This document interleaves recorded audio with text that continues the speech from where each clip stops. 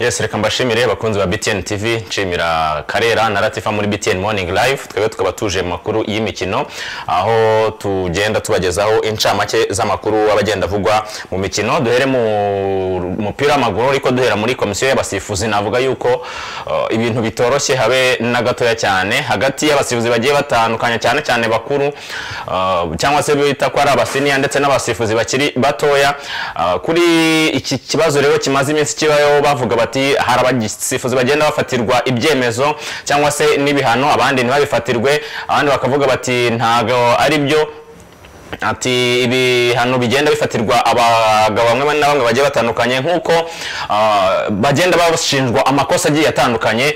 Hari abasifuzi rero bita ko ari bakuru cyangwa se ngo bita ko ari abasinias ahangaha ngo ntabwo iyo bigeze ku gufatirwa ibi byemezo cyangwa se n'ibihano muri rusange ngo ntabwo bafatira ibyemezo cyangwa se ntabwo babahana. Ariko kandi ngo abasifuzi bakiri batoya nibo bahanwa cyane. Ibi rero akaba ari ikibazo kiri muri iyi komisiyo dore yuko uh, bavuga yuko ari harimo ibice bibiri muri iyi komisiyo. Iyobowe uh, n'umugabo n'ubundi uh, ukomeye cyangwa se wamenyekanye cyane mu gusifura ni Gasingwa Michel. Aho rero bagenda bavuga bati hari bamwe na bamwe agenda yirengagiza hari amakosa amwe n'amwe agenda agenda yirengagizwa uh, yaba yakozwe n'abasifuzi bagiye batandukanye. Iki rero akaba ari ikibazo kitoroshye kirimo ahangaha bamwe bavuga bati ibi ngibi bishobora no gutuma n'ubundi abantu cyangwa se gutuma abantu babona iyi komisiyo nk'ibogama cyangwa se nk'ifata ibyemezo ariko ibogamye. Ngira ngo rero turaza kubiganiraho neza cyane ku isaha y'isaa saba cyane cyane bigendeye ku misifurire igiye igaragara mu minsi ishize itambutse. Aho ama ekipe amwe n'amwe ugenda ugasanga nka za mukura victory sport ugasanga ziriramanta ama ekipe nka za za heroes ugasanga arimo aragenda yiramanta avuga ati ntago ibintu dukorerwa ari byo za police fc ugasanga nuko nguko ama ekipe amwe n'amwe ugasanga niyo buri munsi buri munsi ahora agenda yiramanta avuga yuko adasifurirwa neza ngira ngo rero turaza kugenda tubigarukaho turebe ese iki kibazo cyaba giterwa n'iki. Naho kandi eh, muri ekipe ya AS Kigali y'abagore barimo rero barashaka umutoza barimo barashaka umutoza uh, nyuma yuko byavuga yuko uwo bita Bisengimana Justin arimo yifuzwa uh, n'iyi ekipe ya AS Kigali y'abagore. Kuri ubu ngubu rero uh, hari byamaze kuba bijya hanze ko umuntu wifuza aka kazi agomba kuba yujuje agomba gutanga rero ibaruwa y'akazi kuba kandi yaratoje mu cyiciro byibuze cya mbere. Cyangwa se diviziyo ya mbere kuba ari uh, hejuru y'imyaka mirongo itatu n'itanu birumvikana mirongo itatu n'itanu kandi yubatse afite urugo birumvikana agomba kandi kuba uh, afite lisanse a akaba kandi afite amashuri atandatu yisumbuye byibuze siviye ndetse n'ibindi bigiye bitandukanye. Uh, muri aba bagabo rero barimo bagenda bashaka akazi nabonye harimo abagabo benshi bagiye batandukanye harimo nk'uwo bita kamarade kamarade arimo arashakisha akazi muri iyi ekipe ya AS Kigali avuga ati rwose ngewe ntoje iriya ekipe y'abagore nayibyimba ngewe ya AS Kigali. Uyu ni kamarade akavuga ati ngomba guhangana n'ikipe ya Scandinavia ndetse no mu cyiciro cya kabiri nkaba cya mbere plutôt nkaba nabyitwaramo neza birumvikana. Ikindi bavuga ni uko bavuga bati undi mugabo ushaka aka kazi no bita Bisengimana Justin Justin Bisengimana nawe arimo biravugwa yuko ndetse yamaze no kwandika asaba aka kazi. Rajab Bizimuremyi uyu nguyu asanzwe atoza na ekipe ya Scandinavia. Arashaka rero kuza gutoza ekipe ya AS Kigali ngira ngo ni ugutegereza tukareba ese ninde uzabona aka kazi? Tuve aho ngaho kandi tujye kuba bita Jihad Bizimana. Jihad Bizimana sanga kina muri ekipe ya Beveren hariya mu gihugu cy'ububirigi. Uyu Jihad Bizimana rero akavuga ati rwose hano mu bubirigi nakakubwira yuko oh, situation itameze neza cyane kuri ubu ngubu bitewe uh, n'ibiri na situation uko yifashe muri iyi minsi. Hano ikibazo cya coronavirus aravuga ati natwe ubu ngubu amabwiriza twahawe ni ukwitoreza mu rugo uh, tukaba twakora imyitozo ariko turi mu rugo kugira ngo tudata forume cyangwa se tugume turi physically fit. Akavuga ati rero hano rwose ibintu birakomeye aho bati ibintu ariya ntabwo byoroshye abantu ni ukuguma mu mago yabo. Mu gihe kandi twajya kuri cani cani ku munsi w'ejo ni ho kafu yasohoye ibaruwa ivuga iti irushanwa rya CHAN ryagombaga kubera mu gihugu cya Cameroon guhera ku itariki ya gatanu z'ukwezi kwa kane guhera ku itariki enye kugera ku itariki makumyabiri n'eshanu z'ukwezi kwa kane ah, ko ritakibaye. Irushanwa rero ryamaze kuba risubikwa cyangwa se riba postponed. Ah, ni mu rwego rwo gukomeza n'ubundi gukumira icyorezo cya coronavirus gikomeje kwimonogoza hano ku isi aho ah, ubona ibihugu byinshi byamaze kuba affected n'iyi virus yamaze kuba igeramo.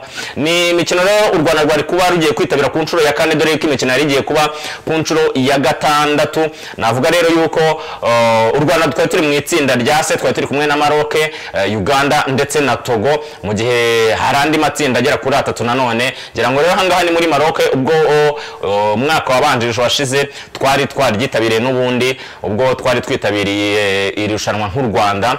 Ni irushanwa ubona ko u Rwanda rumaze kwitabira inshuro ya kane muri eshatu rimaze kuba rikinwa gusa nta kintu kizima turavanayo cyane rero ikaba yamaze kuba isubikwa gusa ubona ko bidakomeza no guhera igihugu cya Cameroon. Uh, kwakira imikino igiye itandukanye ntabwo bigihera rwose. Akaba ari ishyirahamwe ry'umupira w'amaguru yo ku mugabane wa Afurika CAF ryamaze gufata iki cyemezo cyo gusubika iri rushanwa uh, iri rero akaba ari itangazo rya CAF. Bamaze kuba basohora ku munsi w'ejo basohoye bashyize hanze. Mu gihe kandi nakubwira yuko uwo bita Nahimana Shasiri uyu nguyu yakinnye cyane hagati ya 2016 na 2018 muri ekipe ya Rayon Sport uyu Nahimana Shasiri rero akaba yamaze kujya muri ekipe bita Marabo uh, yamaze kujya mu gihugu cya Togo uh, muri shampiyona yaho rero nubwo naho bamaze kuba bahagarika. Akaba rero yamaze kujya muri ekipe imaze imyaka itatu ishinzwe uh, ni ekipe navuga ko yifatanije zari ebyiri imwe yitwaga Marabo Kings Basketball Club yari ya basket indi yitwaga Estrella de, de Futuro do Mongomo. Iyi ngiyi rero akaba ariyo yamaze kuba uh, zarifatanije akaba yayigiyemo rero eh, akaba yagiye muri ekipe ya Futuro de Mongomo. Ngira ngo rero uyu ni Nahimana Shassir wamenyekanye cyane hano mu Rwanda ubwo yari eh, umukinnyi w'ikipe ya Rayon Sport avuye mu gihugu cy'u Burundi. Tuve aho ngaho kandi tujye muri Togo nuko shampiyona yaho bamaze kuba bayihagarika. Iri ni itangazo uh, bamaze kuba bavuga rero bati reka turisore hanze. Shampiyona yabo yamaze guhagarikwa igihe kitazwi. Igihe kitazwi rero uwo bita Pierre Ramadoku akaba ari perezida wa federasiyo uh, Togolese de football cyangwa se y'ishyirahamwe ry'umupira w'amaguru muri Togo.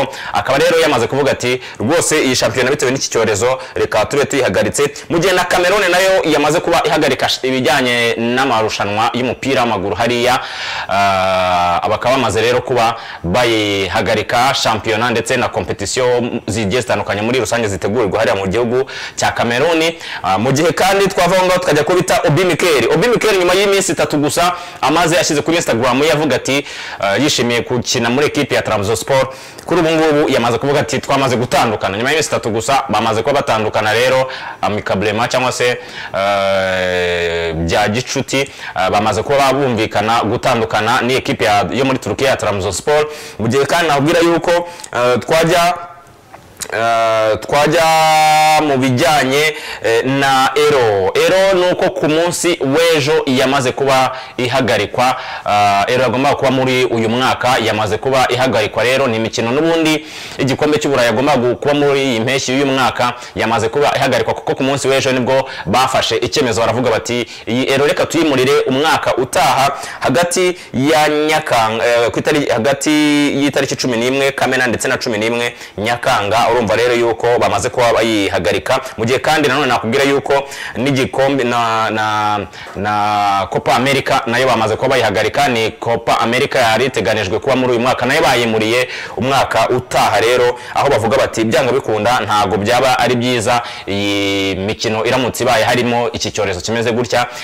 Aya ni amarushanwa akomeye yagiye ahagarikwa. Mu gihe kandi nakubwira yuko twanyarukira muri ekipe ya Chelsea ubwo tugiye mu bijyanye n'abakinnyi barimo bagenda bashakishwa nuko Chelsea irimo irashaka uh, umukinnyi w'inyuma ku ruhande rw'ibumoso wa FC Porto ni umunyabrazil rero. Bakaba bavuga bati byanga bikunda uyu nguyu turimo turagenda tumwifuza cyane. Akaba bavuga bati agomba kuza kudukinira. Mu gihe kandi nanone wita Riyad Mahrez uyu ni umusore w'ikipe ya Manchester City. Murabyibuka ko yavuye muri ekipe ya Leicester City.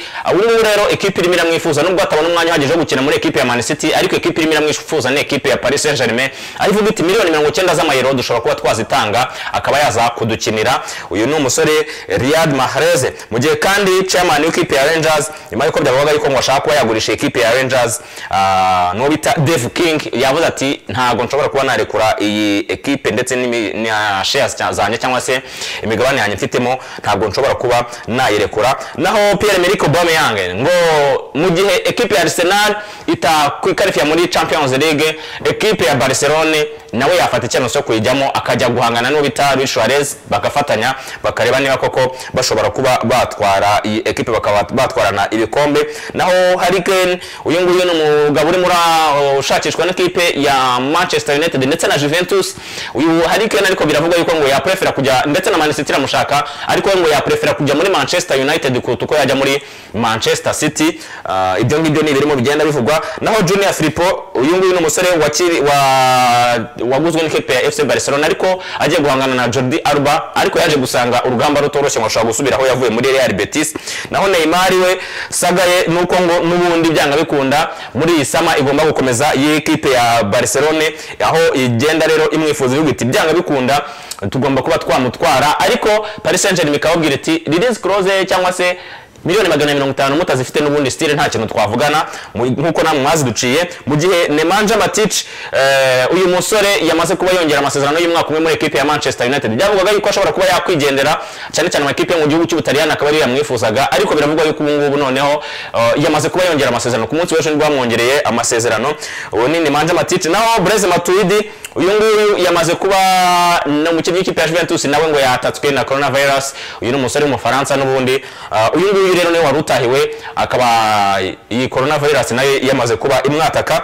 Naho Mangala nawe ni umwe mu basore b'ikipe ya FC Valence. Yamaze gufatwa n'iyi ndwara. Nawe avuze ati rwose abantu ni cyo nabwira abakinnyi bagenzi banjye cyangwa se abandi bantu ba- banduye iyi ndwara nuko bagendera kure abandi bantu kuko turi yavuze ati turi nk'ikibi mu bantu kuri ubu ngubu. Ati kandi ntabwo byaba ari byiza. Mu gihe uwahoze ari perezida wa Real Madrid n'uwo bita Lorenzo Sanz uyu nguyu we yajyanwe mu bitaro noneho we ni n'umusaza yajyanwe mu bitaro rero we imurembeje rwose. Eh, iyi coronavirus ubona yuko itoroshye abe na gatoya cyane. Naho Kevin Durant umukinnyi w'ikipe ya Brooklyn Nets ngira ngo murabyibuka umwaka ushize yakinaga muri ekipe ya Golden State Warriors. Aza no kuvunika igihe kirekire. Uyu musore rero nawe yamaze byamaze gutangazwa yuko nawe iyi virusi yamaze kuba imwandura. So ngibyo rero n'andi makuru menshi turimo tugenda tubategurira ku isaha y'isaa saba muri Sport Zone ku buryo burambuye. Nababwira ngo mukomeze mugire umunsi mwiza. Amakuru turaza kuyarambura ku isaha y'isaa saba. Mugire umunsi mwiza. Ibiganiro bya BTN byo birakomeje.